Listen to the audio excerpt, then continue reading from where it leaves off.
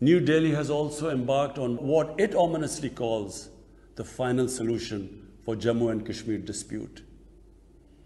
It has undertaken a series of illegal and unilateral measures in occupied Jammu and Kashmir since 5th August 2019.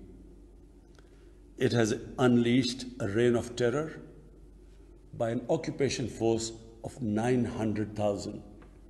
It has jailed senior Kashmiri leadership, imposed a, a clampdown on media and internet, violently suppressed peaceful protest, abducted 13,000 young Kashmiris and tortured hundreds of them. It has extrajudicially killed hundreds of innocent Kashmiris in fake encounters and imposed collective punishments by destroying entire neighborhoods and villages.